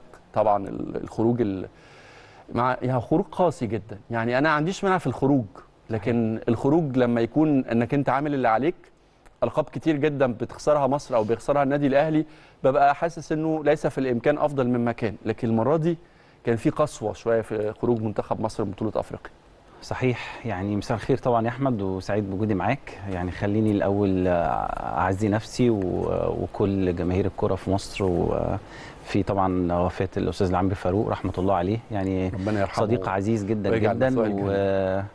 يعني واحد من القلائل المحترمين ال- اللي ربنا اداهم حب الناس لسه كنت أقول لك في حالة إجماع غير مش طبيعي. بس جوه الأهلي آه غير يعني طبيعي. يعني الراجل صحيح. ده الحقيقة كان آه، ما قربتش منه قوي قابلته في مناسبات قليلة وتعرفت بس يعني انت بتقدر تلمس اولا طبعاً. بتقدر تقيم طبعا تقدر تلمس إنه قد إيه الراجل طبعا اللي بره النادي الأهلي أو بره عائلة النادي الأهلي مش جماهيريا أنا بكلم أسرة النادي الأهلي يعرف قد إيه الراجل ده محبوب و و و و ومحل تقدير واحترام الجميع.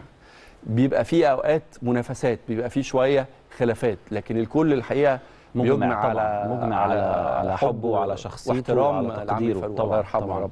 يعني رحمة الله عليه ونعزي أنفسنا يعني طبعاً، مش طبعاً. الاستاذ هشام العمري لكن كلنا الحياة آه، حزان عليه و الكيان الأهلي كله فقد قيمة كبيرة جدا طبعا طبعا. يعني رحمة الله عليه. الحقيقة. رحمة الله عليه وأسكنه فسيح جناته يا رب. اللهم آمين. آه، يعني الحقيقة كلام مهم جدا اللي بتتكلم فيه أحمد لأنه آه، إحنا عند كل إخفاق بيبقى عندنا مشكلة كبيرة جدا. بيبقى عندنا مشكلة المسكنات اللي دايما هي بتأخرنا لورا ما بتجيبناش خطوة لقدام ابدا. يعني إحنا من 2010 لغاية النهارده تقريبا 14 سنة مفيش أي خطوة تقدمناها لقدام في أي مجال في كرة القدم مم. آه، سواء على مستوى قطاعات الناشئين أو المنتخب الأولمبي أو الشباب أو طبعا على مستوى منتخب مصر الأول في أي شيء و و والحقيقة إن كل إخفاق بيودينا لفكرة آه، آه، مين يرحل من من يرحل يعني مم. يعني اتحاد الكرة يرحل طب المدير الفني هو اللي يرحل طب مم. المشكلة أو العباءه اللي دايما المفروض بنقول الجمهور عليها هو اللي يرحل آه. بقى يعني الجمهور يرحل وي... يعني المشكلة المشكلة في في شماعة دايما. طبعا في أنا حاسس شماعه الناس الناس طول ما هي ماشية تقابلني عارف كان أنا رئيس اتحاد الكورة آه طبعا ينفع كده ينفع كده ليه كده يعني الناس زعلانة جدا. الناس في غضب جماهيري غير طبيعي. يعني الناس كانت متخ... متخيلة إن فعلا وده حقيقي يعني خلينا متفقين جميعا وأعتقد إن الجمهور المصري متفق معانا إن عندنا مجموعة من اللاعبين تستحق إنها آه، يعني آه، توصل لأبعد من كده في البطولة. أنا قبل البطولة ما تبدأ هنا في نفس على نفس الكرسي ده في نفس المكان ده قلت إن أنا برشح منتخب مصر لتحقيق اللقب صحيح. لأسباب كتيرة جدا مم. مش حبا ولا انتماء بس لبلدي لكن أنا بشوف إنه الجيل ده واصل لدرجة إنه يقدر نقدر نقارنه بجيل الثلاثية صحيح. 2006 2008 إن لم يكن أنا آسف يعني تختلف وتتفق معايا ممكن يكون رقميا أفضل يعني إذا كنت بتقارن لعيبة محليين عندك لعيبة النادي الأهلي محقق إنجازات أفضل من جيل 2010 اذا كنت بتتكلم على لعيبة محترفين عندنا لعيبة محترفين على مستوى ال- القيمة وعلى مستوى الت- التنافسية وعلى مستوى أسماء الأندية وعلى مستوى الأرقام أفضل من جيل 2010 ورغم كده متفق معاك تماما تماما. لكن انت برضو لازم تقف ودايما عند كل إخفاق. وأنا للأسف الشديد في مواقف كتيرة جدا لمنتخب مصر يعني كنت أنا وأنت في حلقات كتيرة مع بعض واتكلمنا إنه لازم نبتدي طريق الإصلاح إحنا ما. عندناش ما عندناش آه، مشروع نشتغل عليه ودي المشكلة إحنا بس بن دايما بنحط شماعات وأسباب آه، وهمية ومسكنات. آه، تمشي بيها المرحله دي. اللي هو أيوة. رحيل المدير الفني رحيل اتحاد الكورة آه، هندور مين عمل عقد إيه علشان الغرامة للمدير الفني. الأسباب الواهية اللي دايما بتدي لك بتعمل لك مشاكل بعد كده في طريق الإصلاح. أنت أنت ما بتعملش حاجة. أنت أيوة. ما بتاخدش خطوة. انت بتدي مسكنات. بتدي مسكنات انت بتهدي الناس. وده آه. وده انت بتتكلم انت بتشيل حد الفاتوره أحمد انت بقالك سنين بتتكلم. مظبوط؟ بقالك سنين. و... وأنا وغيرنا كتير جدا بيتكلم في يا جماعة نبتدي. نبتدي نعمل مشروع ل... ل... لمنتخبات مصر على الأقل بعيدا عن الأندية علشان نقدر يبقى عندنا منتخبات قوية. خلي بالك الاتحاد ده بعيدا عن الأسماء اللي موجودة فيه.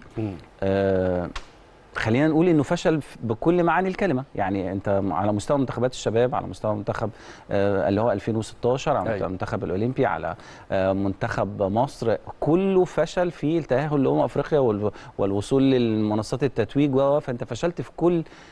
الأعمار السنية وصولا للمنتخب القومي الأولمبي بس وصيف أفريقيا ووصل اللي هيلعب أولمبياد باريس تمام. يعني ده الإنجاز الإنجاز. الوحيد مؤخرا آه. وده مؤخرا ومش عايز أقول إنه عن طريق الصدفة مش عن طريق آه، تخطيط أو مشروع أنت عملته فبقى طيب. عندك منتخب قوي إحنا دايما بنتكلم عن المنتخب الأولمبي إنه منتخب جيد وممكن يبقى نواة جيدة لمنتخب القومي. طيب آه، آه، يعني بسمعك من شوية كنت بتتكلم على نموذج لمنتخب مصر لكرة اليد طبعا حاجة مشرفة جدا جدا لأنه بيشتغل بفكر و... وإدارة جيدة بتقدر تخطط لسنوات عشان تقدر تصل لمنصات التتويج وتكون دايما موجودة. مش بس بتاخد بطولة وخلاص بتحققها أيوة. ومش وبتمشي بس جيل آه، أجيال يحقق آه، إنجاز ويجي الجيل اللي. بعده وتلاقي الدنيا قص- قصة وانتهت لا طيب ال- ال- ال- الاستقرار ده خد بالك انت بتتكلم على لعبة ما هي ما هياش شعبية وما هياش في مصر على الأقل على يعني. الأقل آه. آه و- و- و- و- و- وما فيهاش آه، لا مردود الشهرة ولا النجاح ولا المقابل المادي طبعا. اللي بيحققه مثلا لعيبة الكورة في مصر. صحيح صحيح. ومع ذلك ماشيين هو هو ده هو ده. آه، أنت بتخطط يعني.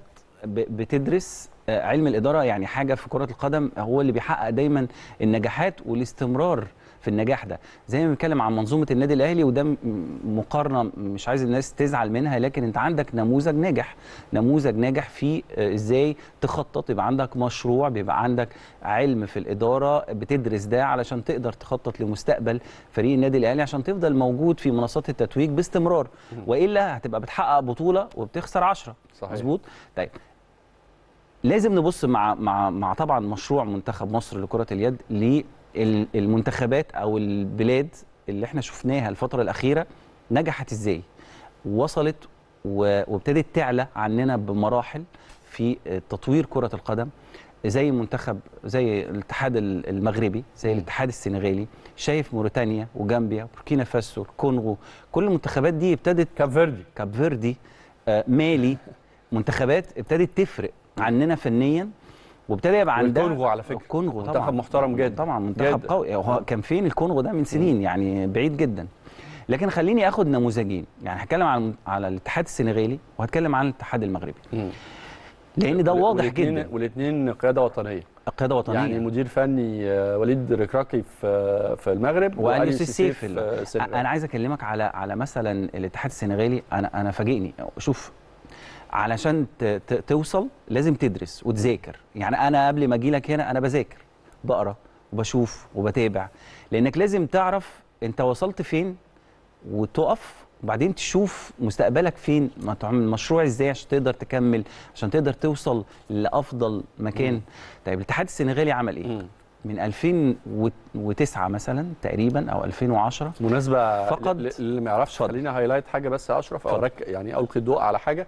منتخب السنغال أول مرة يفوز ببطولة أمم أفريقيا هي النسخة الأخيرة اللي في الكاميرون صحيح. رغم 21. انه وأنا هقول لك ليه. لا رغم انه لا أنا عايز أقول لك إنه السنغال طول عمرها عندها لعيبة على أعلى مستوى. صحيح.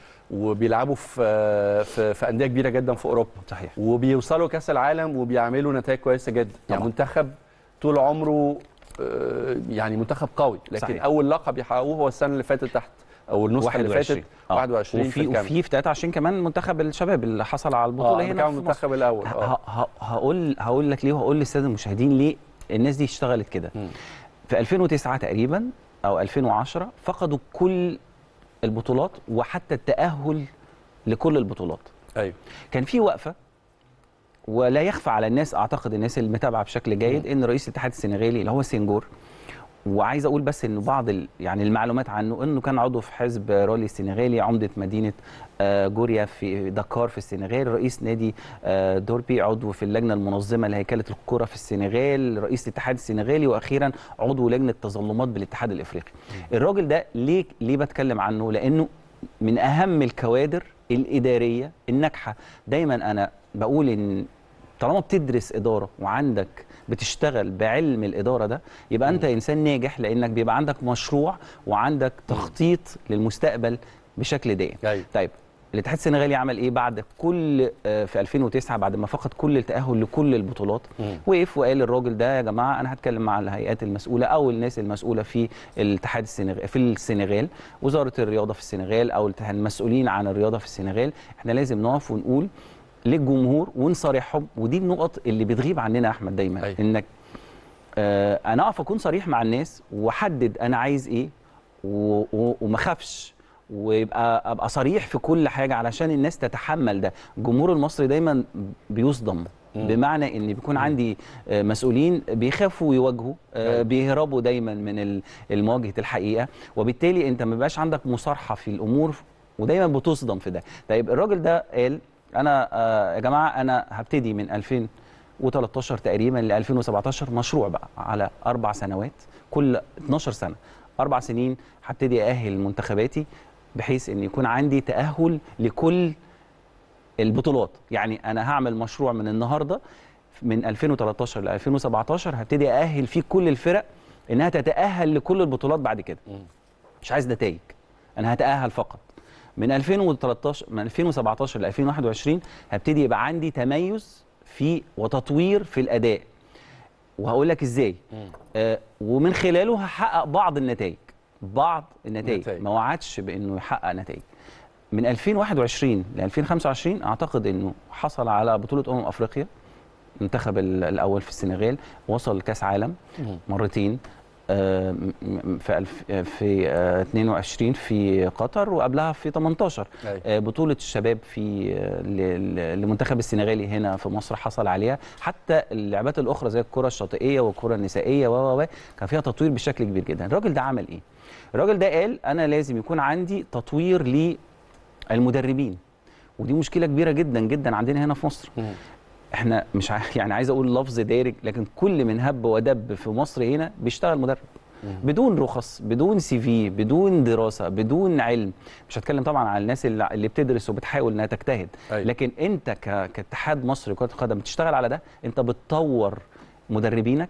طب السنغال من من 2013 النهارده بقى عنده 24 مدرب آه، رخصة A؟ آه، 240 مدرب رخصة B 400 مدرب رخصة C 800 مدرب رخصة C. A B C دي دي تمام؟ مم.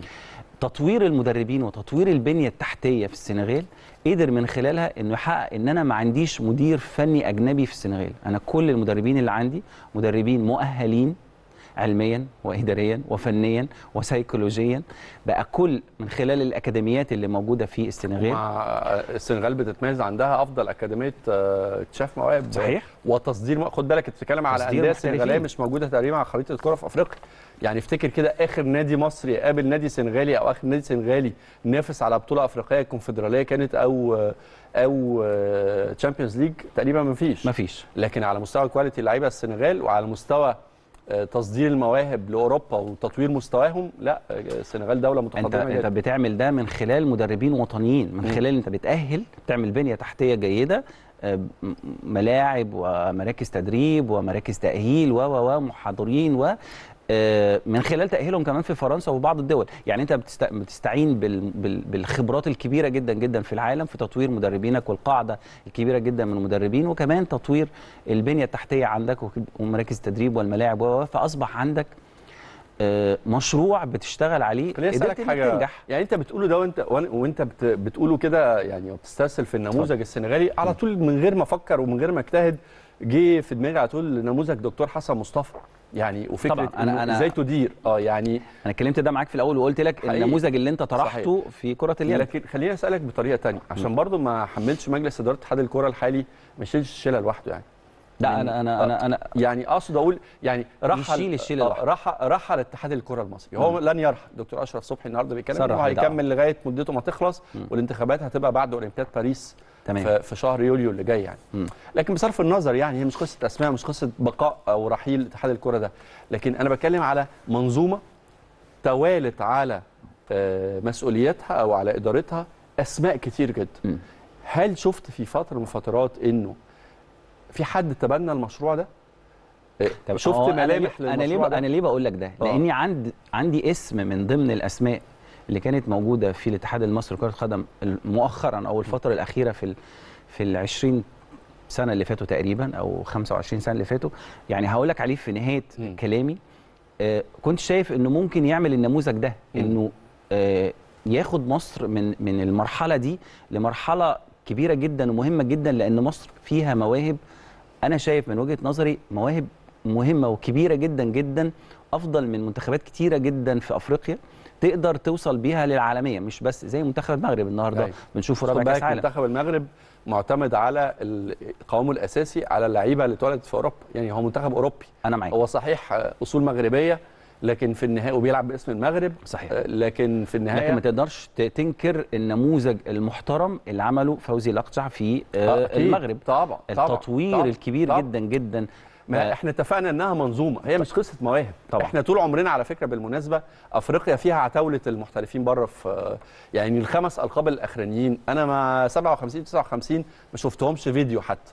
وكان في النهاية ثلاث دول بيلعبوا اعتقد مصر واثيوبيا والسودان تقريبا. لكن النسخ الكبيرة النسخ الحديثة يعني من البطولة 86 القاهرة 98 بوركينا فاسو 6 و8 و10 القاهرة واعتقد آه، غانا والكاميرون تقريبا أو كاميرون وغانا.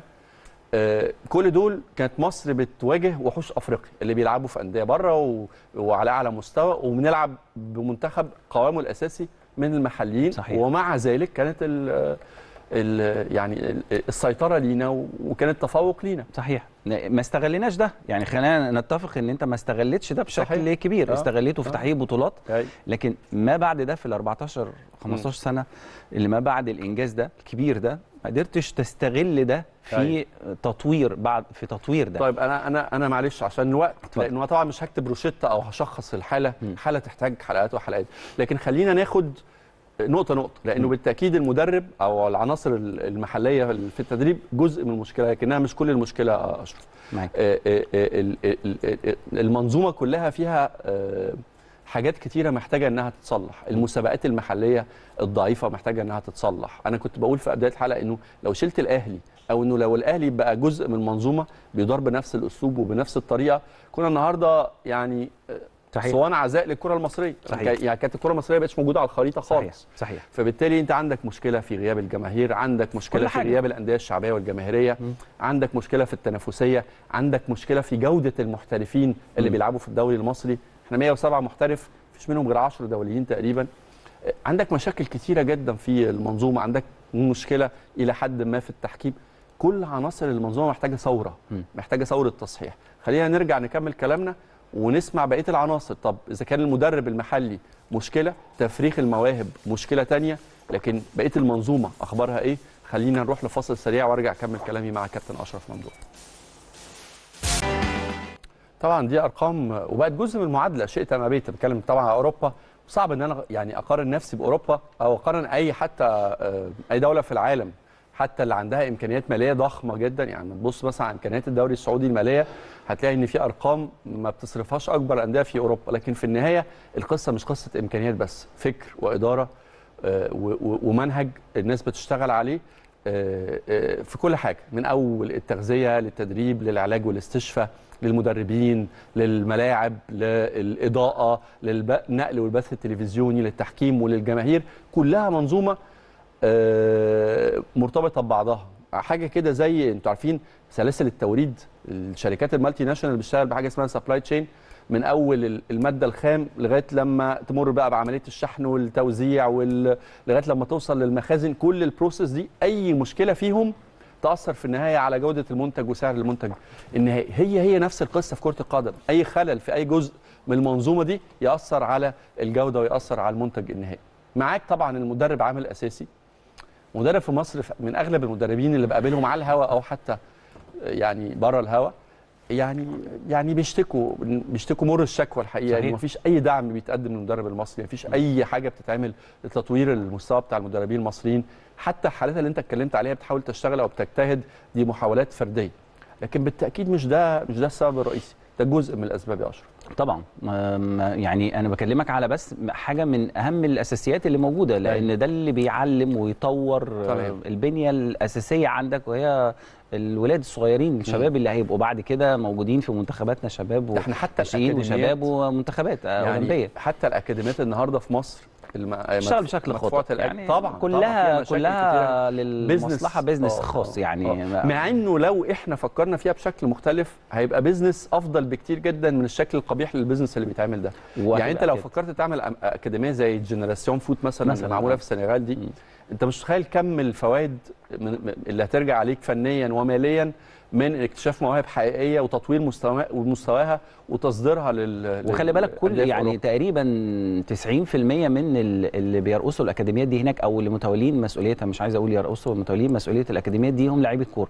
لعيبة كورة قدامى آه سواء دوليين أو محليين لكن هم دول ده شغلهم ده الطبيعي يعني آه، ده الطبيعي إن يكون لاعب الكوره هو المسؤول عن أو حد لاعب كورة ومختص بده عنده العين الخبيرة بعد اللي تعرف. تختار وعنده ال... بعد التأهيل والتطوير آه. زي ما قلت قبل كده إن سنجور هو اللي عمل ده أيوة. وطور فكر الناس دي آه، برضو في, في الاتحاد المغربي أوشن روبرتس هو الويلزي ده هو المسؤول عن ال- كمدير فني الاتحاد المغربي من 2018 مع طبعا نور الدين نايبت نجم المغربي في ف- فكر وتطوير ووضع المشروع للدوري المغربي والبنية التحتية وتطوير المدربين و و و خلي بالك انت- تفضلت وقلت يا أحمد دلوقتي إن معظم اللاعبين الم- الموجودين في المنتخب المغربي يعني من خارج المغرب أو كانوا مو... ولكن عشان تقدر تستمر في إنك تفضل موجود بهذا الشكل وهذا الأداء تطلع لازم يكون عندك جديدة. من عندك من. المغرب أنت مش هتفضل طبعا. تجيب من بره صح وبالتالي الناس بتشتغل بالشكل ده عشان كده بقول لك إن مثلا بعد أم- بعد أمم أفريقيا 21 في السنغال بعد ما خدوا البطولة دي في خمس أو ست لاعبين من الشباب اللي حصلوا على البطولة هنا في مصر اتصعدوا للمنتخب الأول وبيلعبوا بشكل كبير مع المنتخب إحنا ما السنغالي عندناش ولا لاعب اتصعد ما عندناش ولا آه، لاعب. آه، هو ده الفكر. إنك آه. تفضل تجدد وتستمر رغم إنه راجل اختار آه، لعيبة آه، إما راجعة من إصابة أو راجعة من آه، اختيارات. عدم مشاركة ما بتلعبش طبعاً. نهائي طبعاً. ومع ذلك ما, ما مش عشان يلعبوا على فكرة مم. يعني كنت بقول في ساعات لما تابع مش مش مش بالضرورة تاخده عشان تلعبه لكن على الأقل تديله فرصة المشاركة والاحتكاك وإنه يشارك مع خبرات آه، من لعيبة. أكبر منه طبعاً. إنه تحتاجه في ماتش أو اتنين تكون ضامن فيهم مثلا التأهل فبالتالي ياخد الخبرة بدري و- بدري. و- وده اللي قلنا عليه في في الاختيارات بتاعت واضيف فيتوريا. على ده بقى إن في منهم لعيبة مميزة جدا وتستحق المشاركة. جدا واتكلمنا آه. عليهم على فكرة في حلقات مع بعض إنه يعني ليه فيتوريا ما, ما, ما استعنش ببعض اللاعبين؟ آه، ليه؟ يعني إيه الفكرة؟ خاصة إنك عندك حوالي سبع أو ثمان لاعبين فوق ال 31 و 32 سنه أيوة. يعني بعد كده مش موجودين مع منتخب مصر فأنا ليه ما يبقاش عندي تطوير في ده. طيب آه، إحنا اتكلمنا عن المدربين ودي نقطة من أهم النقاط اللي موجودة لأن في مدربين كتيرة جدا جدا جدا في مصر لا يستحقوا أن يكونوا متواجدين في تطوير ولادنا الصغيرين سواء في الأكاديميات سواء في الأندية سواء في القطاع الاستثماري الكارثة اللي موجودة في الرياضة المصرية في الفترة الأخيرة القطاع الاستثماري اللي هو أدفع ألعب آه. آه ودي مشكلة كبيرة جدا ومصيبة كبيرة جدا. المسابقات و و ونظامها آه التسنين والتزوير في قطاعات الناشئين. انت بتتكلم خلي بالك إحنا كل مرة وعند كل إخفاق بنتكلم في نفس النقط. مم. إحنا بنقف عند نفس النقط. لو جبت من عشر سنين بتتكلم يا أحمد هتلاقيك بتتكلم في نفس النقط. ما عندناش تطوير في أي نقطة فيهم. انت بس بتعلق شماعات ارحل أيوة. المدير الفني آه، ارحل الصدمة يعني فكرة إن في غضب امتص الغضب مشي آه، جهاز شماعة. الفني مشي شماعة آه شماعة شماعه آه، شماعة. بتعملها بدون أو بت, بت ري فيتوريا من. وجهة نظرك آه، شوف يستحق أنا أنا علشان عشان أنا ما بحبش أغير كلامي أنا أيوة. شفت إن روي فيتوريا قبل البطولة. عمل تطوير في آه، الشكل الهجومي لمنتخب مصر تمام. أنا شفت ده مم. شفت ده في المباريات ومباريات كبيرة زي بلجيكا وزي الجزائر و... والمباريات كلها اللي خاضها أحرز 33 أو 34 هدف في 13 أو 14 مباراة. آه، شكل المنتخب هجوميا أفضل من قبل كده وبالتالي لا الراجل آه، آه، عمل ده. لكن كان في مشكلة كبيرة جدا إن الراجل ما اشتغلش في أفريقيا قبل كده ما عندوش الخبرات دي. آه، آه، آه، في ضعف في الشخصية رغم ان كنت شايف إنه عمل حاجات جيدة في التواصل مع الأندية في إنه متواصل مع المنتخبات الأقل سواء المنتخب الأولمبي أو منتخب 2005 كان موجود فيه أيوة يعني لو يعني- يعني لو بيب جوارديولا ولا ولا كارلو أنشيلوتي ولا ولا حد من التقال دول كان هو اللي ماسك منتخب مصر في البطولة كنت متوقع يعني يبقى في اختلاف؟ كنت متوقع إن إحنا جبنا اللقب ولا آه آه بص شوف آه. انت ممكن تحقق زي ما أنا قلت لك قبل كده مم. ممكن تحقق بطولة مم. مش مش على وجه الصدفة أيوة. لكن في ظروف استثنائية لعيبة جيدة مدير فني شخصية وكاركتر و... جبت اللقب. يعني لكن لو استمرار مع المنتخب كان سهل جدا كان سهل يجيب لقب النسخة الأخيرة. طبعاً. آه. لكن هل ده معناه ان الأمور تمام؟ لا, طبعا مش تمام. مش تمام. عشان كده أنت دايما بنقف عند كل مشكلة ونعلق الشماعات بس ونتكلم في مين يرحل ومين يبقى. أنا عايز أقول إنك لازم تطور المنظومة. لازم تطور منظومه بالكامل. من قطاعات ناشئين ل كل الأندية والخبرات دي. يعني يعني يعني التاريخ الطويل لكرة القدم في مصر ووجود أندية مصرية زي الأهلي وزي الزمالك على يمكن الزمالك بعد شوية لسبب أو لأسباب يعني مش مش وقت إن إحنا نتكلم عليها لكن في النهاية هو نادي ليه تقله في مستوى القارة عنده تاريخ كبير صحيح. عنده كوادر ال- الأهلي نفس الحكاية. آه وجود الخبرات والكوادر الكبيرة على مدار التاريخ مفيش حد آه نراهن عليه. أنا قلت لك هذكر اسم. آه. كنت شايف من وجهة نظري وأنا دايما بتكلم في النقطة دي وهو دايما بيزعل مني ودايما بيقول إن أنا دايما بتكلم وأنتقد. لكن آه، من وجهة نظري الشخصية أنا كنت شايف إن هو الوحيد اللي كان ممكن يقوم بالدور ده المهندس هاني أبو ريده مم. عنده كل الصفات الشخصية اللي اتكلمنا عليها راجل عنده فكر إداري كبير جدا يقدر يطور مركزه آه، في الاتحاد الدولي وكرئيس اتحاد الكرة سابقا آه، علاقاته في مصر شخصية كبيرة جدا ومهمة جدا إدارية. ما قدرش يعمل ده. ليه؟ أنا ما أعرفش. يعني أنا ما عنديش سبب انه ما قدرش يطور المنظومة دي زي ما قلنا على فوزي لقجع وزي ما قلنا على أيوة. آه، سنجور في السنغال وزي ما ما بنتكلم على بعض المنتخبات دلوقتي والاتحادات زي مالي وزي بوركينا فاسو وكاب فيردي آه، ليه ما قدرش يطور ده؟ هل هل المنظومة في مصر تولى المسؤولية في فترة من الفترات بس ما فترة يعني- طويلة آه. معلش. ما فترة طويلة. مم. شوف أنا أنا أنا أنا أنا أنا دايما بتكلم على الشخصيات الإدارية اللي عندها فكر تقدر تطور وبزعل جدا جدا إنه ما يقدرش يحقق ده. ليه؟ مم. الحقيقة فيها مشكله في مشكلة كبيرة يمكن ظروف يعني إن مصر بتنظم البطولة وبطولة على أرضها وإنك أنت تخرج بدري قدام 2016 برضو ممكن تبقى ال ال ال ال أنا بتكلم في تطوير أيوة. المنظومة أنا عارف على عارف. انت لسه من شوية بتقول. إن كل مع كل نكسة نقاط. مع كل دروب يحصل مع كل خبطة بيبقى في كبش فدا. طبعا. ف- فيمكن بقول لك أنا عديت أنا وأنت دلوقتي كم سبب. كتير. ده هي أسباب كتير. ده أنت دخلت في تفاصيل التفاصيل. لا أنت عندك مشاكل كبيرة جدا. لا أحد يعيرها انتباه يعني يعني المسابقه المحلية لوحدها كارثة. كارثة من الكوارث. رغم انك عندك كل مقومات النجاح. يعني صحيح. مصر وهي وبنية تحتية كبيرة جدا, جدا. وعظيمة مصر يعني. افتتاح مصر للاستاد الجديد استاد العاصمة ال- أعتقد كام؟ 5 92 أو 95 ألف متفرج. تحفة عالمية واحد من أفضل الاستادات على مستوى العالم. آه، الاستاد ده بالكباسيتي دي مين هيملاه؟ يعني اتكلم على الجمهور آه مش كده؟ بتتكلم على الجمهور. طيب. لا انت بتتكلم على جيلين ثلاثة من بعد جيل 2010 إيه، ما بيلعبوش قدام جمهور. ما فيش فكرة الضغط. أنا لو تفتكر كنت بقول في أول حلقة الأهلي لما كان بيروح يلعب جمهورية شبين في ملعبه كان بالنسبة للأهلاوية ماتش صعب جدا. صحيح. بتروح تلعب بالبلدية بتروح تلعب المنصورة الأندية بتروح- الشعبية. بتروح تلعب الأندية الشعبية وال- وال- والملاعب تبقى مليانة آه، آه، جمهور. ده ضغط كبير جدا. حافز للفرق الصغيرة كبير جدا وتشجيع كبير جدا ليهم وضغط عصبي كبير جدا على الفرق الكبيرة اللي زي الأهلي والزمالك والإسماعيلي. فالتنافسية اللي كانت موجودة كانت كل فرق الدوري بتطلع لعيبة كبيرة. آه، المنيا كانت بتطلع لعيبة البلدية كانت بتطلع لعيبة المنصورة كانت بتطلع لعيبة. النهارده باستثناء الأهلي مع كامل احترامي يعني ما إحنا- عندكش ده. إحنا آه. يعني لعيبة تمثل المنتخبات وتلعب على المستوى الدولي وتبقى تقدر تلعب تحت ضغط عندها الشخصية وعندها المنتاليتي. طب إحنا ليه بنقول إن جمهور مصر ابتعد شوية عن المنتخب؟ ليه؟ يعني هل هل دي عدم وطنية ولا عدم انتماء لمصر؟ مستحيل تقدر تقول ده. مم. يعني هتخون كل جمهور الكرة في مصر؟ مستحيل. يعني الناس بعدت لأن حاسة إن الناس اللي بتشتغل ما بتشتغلش بشكل آه، بفكر. آه، بعلم بإدارة بتخطيط آه، مجرد إنك بس معتمد على فكرة إن موجود زي واحد زي محمد صلاح أو تريزيجيه أسماء اللي موجودة الواحد أو الاثنين أو الثلاثه اللي موجودين عندنا محترفين طبعا أيوة. مع الأسماء الكبيرة اللي موجودة في مصر طبعا آه، سواء من الأهلي أو الزمالك أو باقي الفرق آه، مستخبين وراهم ودي مشكلة كبيرة جدا جدا مم. لازم يكون عندك صراحة مع الجمهور المصري الجمهور المصري. يا أحمد خلي بالك أنا بقعد أنا وأنت يعني بنتكلم كتير طبعاً، جدا لكن. أنت لو نزلت الشارع هتشوف غضب غير طبيعي وناس فاهمة في الكورة بشكل غير طبيعي. آه، النهارده ما تقدرش تضحك على على الجمهور المصري بكلمة واتنين وخلاص والموضوع خلص وعدى ورحيل فيتوريا ورحيل سين أو صاد أو نعلق المشنقة الواحد و... الناس بقت فاهمة. أنت ما عندكش مشروع تشتغل عليه ما عندكش خاصة في ظل الإخفاقات الكبيرة جدا جدا لكل المنتخبات في الفترات اللي فاتت، أنت. ما حققتش أي حاجة باستثناء الوصول المنتخب الأولمبي للأولمبياد، أيوه.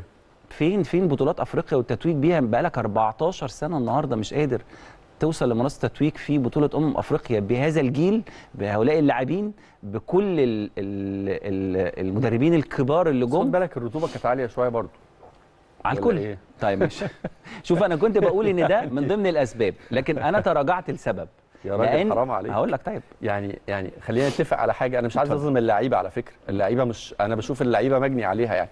رغم إن كتير كان بعيد عن مستواه وكتير أنا يعني كتير شفت إنه أو صدقت مقولة إنه في لعيب ممكن يجيب جدا محليا لكن دوليا لا قصة قصة صحيح. مختلفة تماما. الضغوط والشخصية طبعا بروفايل في اللاعب الدولي أعلى. غير بروفايل اللاعب المحلي طبعاً. تماما في يعني لعيبة على فكرة بروفايلات آه، دولية كتير جدا كانت تستحق التواجد في البطولة دي طبعا آه، ما اختارهاش طبعاً. آه، ما اختارهاش آه، فيتوريا طبعا بس لكن أنا عايز أقول لك إنه إنه فكرة درجات الحرارة والرطوبة أنا مم. كنت مقتنع بيها تماما لحين أيوة. وجود منتخبنا الشوط الثاني في كل المباريات. آه، ممكن أنا آخد منك أشتريها وأبلعها منك. آه. لو بتقول لي وأنت بتلعب من نيجيريا وأنت بتلعب السنغال وأنت بتلعب المغرب. خلي بالك إحنا كنا لكن- أفضل في الشوط الثاني في كل المباريات لكن بتاعتنا. لكن, لكن يعني أنت ما عندكش مشكلة أنت بقى. أنت بتتعادل بالعافية آه. مع موزمبيق. وبتتعادل بالعافية مع غانا. صحيح. انت أنت لعبت ماتش لعبت أربع ماتشات في البطولة ما حققتش ولا فوز. آه.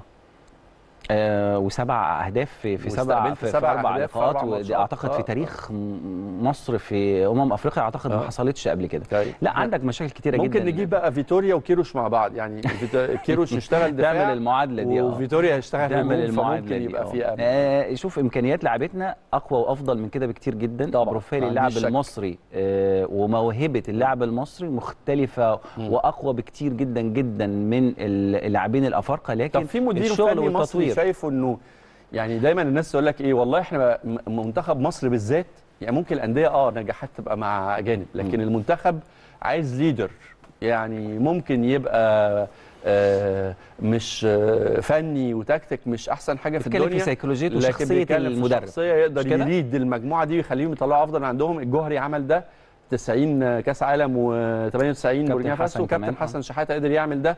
فليه لا؟ ما نراهنش. في حد لو طب أنا أنا هقول لك على حاجة. انت آه. أنت دلوقتي عايز حلول مظبوط؟ يعني أنا ب... أنا بقترح معاك هو في حلول مؤقتة. لازم انقاذ ما يمكن إنقاذه. أنت لا. عندك تصفيات كاس عالم وعندك كان 25 والاتحاد المصري مش هيرحل. والاتحاد المصري مش هيرحل، حين. الانتخابات. يعني ده آه. قرار خلاص. آه بالظبط. فأنت مضطر إنك تكمل مع الاتحاد المصري بهذا الفكر. لكن يقدر يطور في ده. أتمنى إنه ياخد كل ال... كل عناصر النجاح أو على الأقل الاقتراحات اللي موجودة أيوة. عشان يقدر يطور ويبتدي ينفذها عشان اللي يجي بعده أيوة. يقدر يستلم منه الرايه ويكمل طب هل المقترح الأفضل دلوقتي إن فيتوريا يكمل ولا لأ لأ أنا شايف إنه خلاص ما يكملش ويكون عندنا مدير فني مصري الفترة دي لحين التعاقد مع مدير فني قوي شخصية يقدر يطور منظومة الرياضة في مصر مع اتحاد مصري قوي عنده بلان عنده مشروع يقدر يشتغل عليه صحيح. أربع وخمس وست سنين الفترات اللي جاية وفي ملفات مفترض تبقى مهمة جدا يعني نسيبنا بقى من حالة ركوب الترند والمكايدة و... و... والتهجيص والحاجات اللي إحنا بقينا متعودين عليها يعني دي ونبص. بقى على ملفات ممكن آه، لو اتطرحت للمناقشة النقاش العام حتى ونسمع آراء مختلفة فيها ممكن توصلنا لحاجة. يعني ملفات سهلة جدا. أنا شايف إن إحنا ممكن في خلال فترة بسيطة جدا نحلها ونقفلها ضبه ومفتاح. فكرة مثلا عودة الجمهور للملاعب. فكرة آه، الإضافة اللي بتعملها آه، آه، كتيبة المحترفين الأجانب في مصر. إحنا ليه بنجيب محترفين أجانب في مصر؟ بس عشان نعوض نقص في مراكز معينة ولا عشان يكون كمان في فايدة للاعب المصري إنه يحتك مع مدارس جديدة. فكرة دعم المدربين المصريين وتطوير مستواهم وتأهيلهم.